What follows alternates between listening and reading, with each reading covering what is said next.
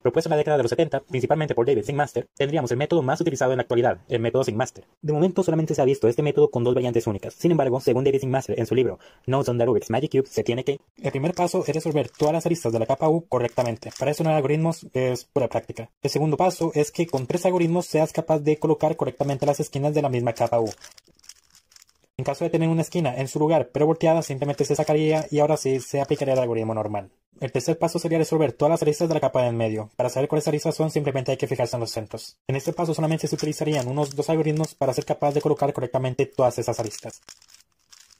En caso de tener una arista volteada, simplemente se sacaría y se volvería a insertar con el mismo algoritmo.